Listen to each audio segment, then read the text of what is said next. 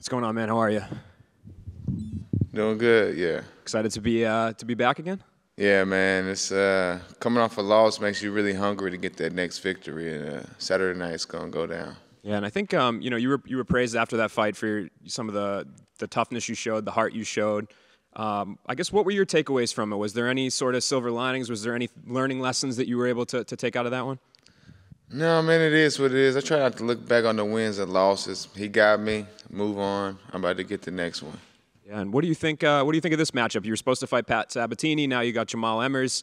Um, the change does it mean anything to you? Is it do you like? I feel like it's better for the fans. I feel like uh, the Pat Sabatini fight would have been a little bit less exciting. I think this is going to be a good, exciting fight for the fans to see. So when you have that sort of switch, like midway through your camp, does does everything change, or do you kind of stay on the same path? Um, I mean, not really. We just training, grinding, and uh, we just switch up the visualization. You know what I'm saying? We just focusing on a different guy. I believe it's been uh, will be about nine months between fights for you. Was this? Uh, did you want to take some time off, or yeah, I took some time off to. Um, I just my wife gave birth to my first son, so Congrats. yeah, I spent a little time with them. That's amazing. How's it feel? And we're gonna see. We got that daddy strength now, so we're gonna see when I grab him. In, in that time, I thought it was interesting. It seemed like your name was coming up a lot in post-fight interviews and people calling you out. I don't know if you if you heard I mean, any that's of that. good. That's good. I mean, it's the name of the game. Stay a little bit relevant when you're not. Yeah, and I guess uh, where do you feel like uh, a win over Jamall will get you? Is it kind of propel you back to, to get another ranked sort of opponent, or I mean, I would like to try to get back a shot at that top 15, but everything right now is focused on Saturday night. thanks. Nate, next to Nolan here. Uh, you're obviously originally supposed to fight Pat Sabatini. You said Emmers to you is a more exciting fight. Why do you feel that way? What about their styles do you like more in Emmers? I just feel like uh, Emmers is more of a, you know, he's going to come out, we're going to strike. Uh, I think Pat would have been desperate for the takedown immediately. It would have been a lot of wrestling. His game plan would be a, uh, take me down, trying to hold me there. So I'm not saying that uh, Jamall Emmers is not going to try to take me down and hold me down, but likelihood is you're going to see some great exchanges. Do you still want that Sabatini fight someday? I mean, we'll just see what the year. I would like to skip over all that and go straight to something better. If I'm being honest. I mean, it's a name. And then last one for me. You have one of the most exciting personalities in the sport. Your fight style is very exciting. How do you think a crowd like Atlantic City lends to your style opposed to, you know, like an Apex fight where there's less fans? Oh man, it's just more thrilling. It's more gladiator when there's fans in the stands and they get they get to see it and they get to enjoy it and they get to go home and think about that night. Right here.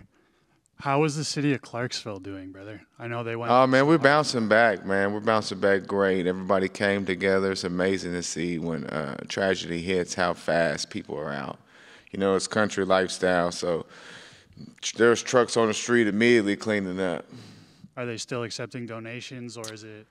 I mean, I, I think you, we've raised up a quite a bit of money. There's been plenty, and uh, I mean, everybody's bouncing back. It's just one of those things to where I, I sure hope another tornado don't hit, but the resilience of Clarksville is always going to be tip-top shape. The song "You and Me" probably like one of the hardest walkout songs I've ever heard with Yelawolf. Yeah. Um, are you a big fan of those guys like Jelly Roll, Struggle? Yeah, man. I actually am a big fan of Jelly Roll and all them. Uh, you know, just growing up there in Middle Tennessee, of course. You know, uh, they're all the great dudes. I actually uh, chit chat with Jelly Roll sometimes. What do you think about his rise? Because like I remember him as like Jelly Roll the rapper, and then all- Yeah, man, it's crazy how sometimes you got to switch it up to get a little notice. And uh, man, he's doing it. He's booming. So I'm happy for him.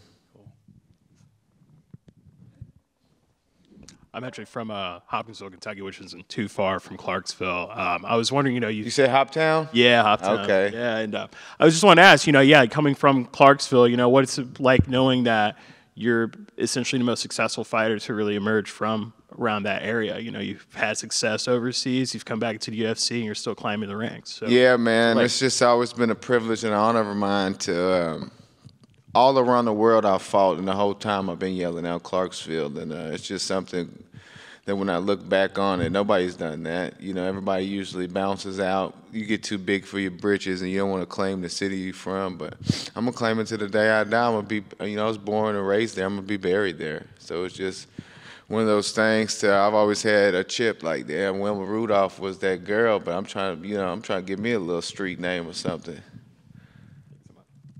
All right.